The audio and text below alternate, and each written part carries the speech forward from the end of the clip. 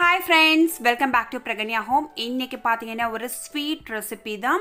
இந்த லட்டு செய்கிறது பார்த்தீங்கன்னா ரொம்ப ரொம்ப ஈஸி நீங்கள் செஞ்சு கொடுத்தீங்கன்னா எதால் செஞ்சதுன்னு யாராலையுமே கண்டுபிடிக்க முடியாது. அந்த அளவுக்கு வந்து ரொம்ப ரொம்ப டேஸ்ட்டாகவும் இருக்கும். செய்கிறதும் ரொம்ப ரொம்ப ஈஸி இதை எப்படி செய்யறதுன்னு பார்ப்போம் வாங்க. இப்போ பார்த்தீங்கன்னா ஒரு கடாயா வாயகண்ட கடாயா எடுத்துக்கிங்க. எடுத்துக்கிட்டு ஒரு கப் அளவுக்கு பால் அரை கப் அளவுக்கு தண்ணி.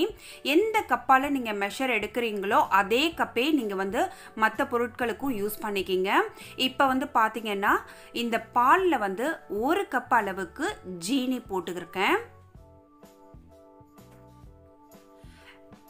ரெண்டே ரெண்டு ஏலக்காய் தட்டி போட்டிருக்கேன். இப்போ இது ஜீனி கரையிற வரையிலும் இது மாதிரி நல்லா மிக்ஸ் பண்ணிக்கிங்க. பண்ணிட்டு அதுக்கு பிறகு பார்த்தீங்கன்னா ஒரு கப் அளவுக்கு தேங்காய் போட போகிறோம் இந்த தேங்காய் பார்த்தீங்கன்னா நல்ல வந்து வெறும் கடாயில் வந்து தேங்காவை திருவி நல்ல ரொம்ப கலர் மாற விடாமல் லைட்டாக வதக்கி அந்த தேங்காய் தான் ஒரு கப் அளவுக்கு சேர்த்துருக்கேன்.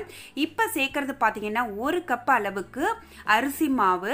நீங்கள் வந்து கடையில் வாங்குகிற அரிசி மாவும் யூஸ் பண்ணிக்கலாம். இல்லை வீட்டில் செய்கிற இடியாப்பம் மாவை கூட இதுக்கு யூஸ் பண்ணிக்கலாம். ரொம்ப ரொம்ப டேஸ்ட்டாக இருக்கும். இப்போ பார்த்தீங்கன்னா நம்ம கரெக்டாக அந்த ஒன்றரை கப்பு பாலுக்கு வந்து இது பால் ஜீனி தேங்காய் எல்லாம் சேர்த்து இந்த மாவை போட்டோன்னு பார்த்தீங்கன்னா கரெக்டான கன்சிஸ்டன்சியில் பாருங்கள் நல்லா திரண்டு வருது. இது மாதிரி தான் வரணும். சப்போஸ் ஒரு சில மாவு வந்து அதிகமாக தண்ணி இழுத்துதுன்னா நீங்கள் வந்து கொஞ்சம் வந்து வெந்நீர் வந்து நல்லா கொதிக்க வச்ச வெந்நீரை கலந்துக்கலாம்.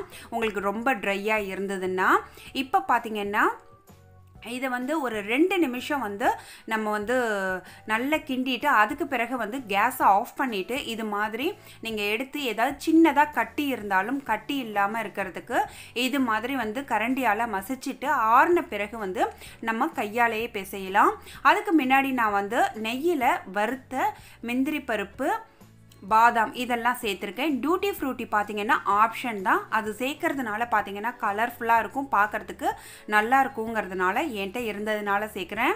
உங்கள்கிட்ட இல்லைன்னா விட்டுருங்க. இப்போ பார்த்தீங்கன்னா நல்ல மாவை வந்து அடித்து பிசைஞ்சுக்கணும். அப்போ தான் வந்து இது ஹார்டாக இல்லாத நல்ல சாஃப்டாக வரும். உங்களுக்கு என்ன ஷேப்பில் வேணுமோ அந்த ஷேப்பில் வந்து நீங்கள் ரெடி பண்ணிக்கிங்க. இன்றைக்கி நான் வந்து நல்ல பால் மாதிரி லட்டுங்கிறதுனாலே உங்களுக்கு பால் மாதிரி தான் ரெடி செஞ்சால் நல்லாயிருக்கும் இப்போ பார்த்தீங்கன்னா நான் வந்து ஒரு நூ ஒரே ஒரு சின்ன கப்பால் தான் போட்டேன். நூறு கிராம் தான் அரிசி மாவு போட்டேன். அதுக்கே வந்து எனக்கு இருபது லட்டு மாதிரி கிடச்சிருக்கு. இப்போ இதை வந்து நம்ம வந்து ஸ்டீம் பண்ண போகிறோம் இட்லி தட்டில் வச்சு ஒரு அஞ்சுலேருந்து ஏழு நிமிஷம் வந்து இது வெந்தால் போதும். ரொம்ப ரொம்ப சாஃப்டாக ரொம்ப சூப்பராக இருக்கும். இப்போ பார்த்தீங்கன்னா வெந்துருச்சான்னு பார்க்கலாம் இப்போ பார்த்தீங்கன்னா நல்ல சாஃப்டாக ரொம்ப வெந்து பஞ்சு மாதிரி இருக்குது இப்போ இதை எடுத்து இது நான் ஏற்கனவே சொன்னாப்புல வந்து தேங்காவை லைட்டாக வந்து ட்ரை ரோஸ்ட் பண்ணி வச்சுருக்கிறேன். இந்த தேங்காவில் நம்ம செஞ்ச லட்டை உருட்டி வைக்கிறதுனால பார்த்தீங்கன்னா எக்ஸ்ட்ரா டேஸ்ட்டாகவும் இருக்கும் பார்க்குறதுக்கும் ரொம்ப ரொம்ப நல்லா இருக்கும். இப்போ எல்லா உருண்டைகளுமே இதே மாதிரி தான் நான் ரெடி பண்ணி வச்சுக்க போகிறேன் இது வந்து ரெண்டு நாள் ஆனாலும் நம்ம தேங்காவை வதக்கி சேர்த்ததுனால இந்த லட்டு வந்து வீணாகவே போகாது. கண்டிப்பாக இந்த வீடியோ உங்களுக்கு பிடிச்சிருந்ததுன்னா ட்ரை பண்ணி பார்த்துட்டு கமெண்ட்டில் சொல்லுங்கள் இந்த வீடியோ உங்களுக்கு பிடிச்சிருந்ததுன்னா மறக்காமல் பிரகன்யா ஹோம்க்கு சப்ஸ்கிரைப் பண்ணி பக்கத்தில் உள்ள பெல் சிம்பிளை கிளிக் பண்ணுங்கள் அப்போ தான் என்னுடைய ரெகுலர் அப்டேட்ஸ் உங்களுக்கு ரீச் ஆகும். இன்னொரு ஒரு யூஸ்ஃபுல் வீடியோவில் நாம் மீட் பண்ணலாம். தேங்க்ஸ் ஃபார் வாட்சிங் ஃப்ரெண்ட்ஸ் பாய்